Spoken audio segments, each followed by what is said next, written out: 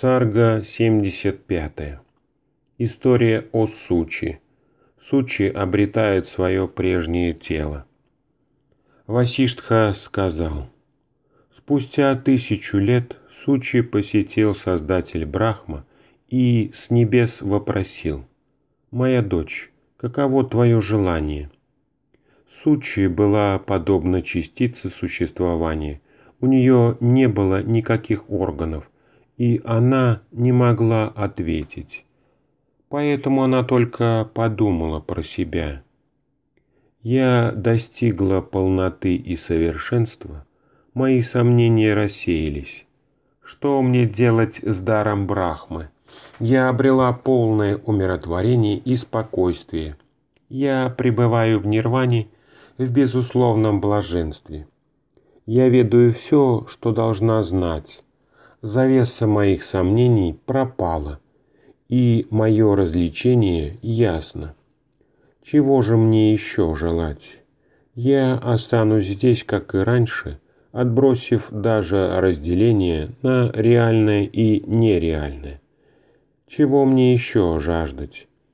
Раньше, когда я была еще глупа, меня преследовал демон собственных желаний, как ребенка пугают воображаемые привидения. Теперь он сгинул благодаря размышлениям о собственной природе. Чего мне желать и чего не желать? Помыслив так, Сучи, не имеющая органов речи, осталась в молчании и полном спокойствии, в то время как Брахма взирал на нее – Тогда Создатель снова обратился к ней, лишенной желаний и обладающей умиротворенным умом. Брахма сказал, «Получи дар, дочь моя.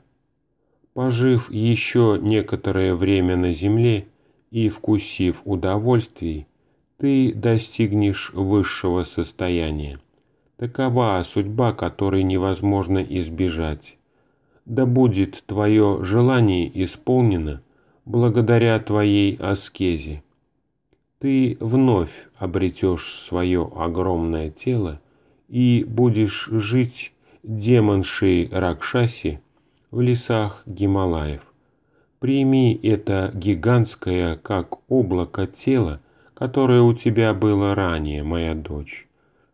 Оно проявится вновь, как огромное дерево, вырастает из маленького семечка.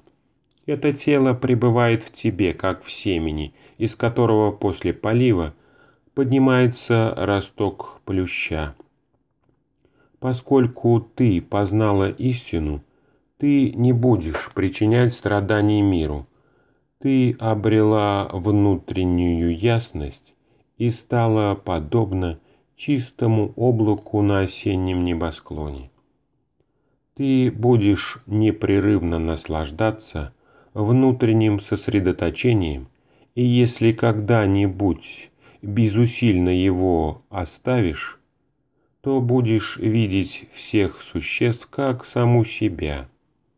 Ты станешь воплощением созерцания и спокойствия, движения твоего тела будут проявляться без усилий, как ветер по своей природе – являет движение.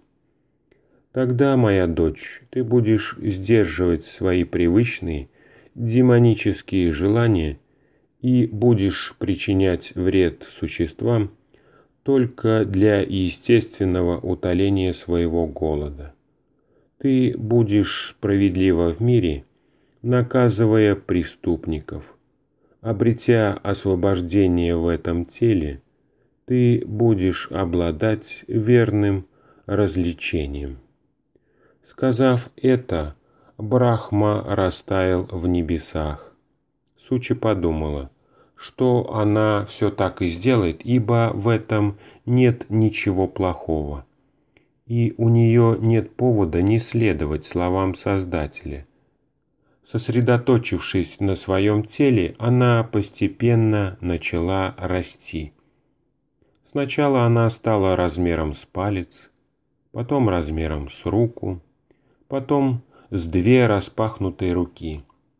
потом с дерева и, наконец, выросла до размеров облака. Тут же у нее отросли все конечности, как постепенно из семени сансары вырастает дерево желаний. У ее тела появились все необходимые части, которые были сокрыты ранее, как цветы на дереве желаний содержат в себе множество неявленных до поры семян. Такова сарга 75 история о Сучи.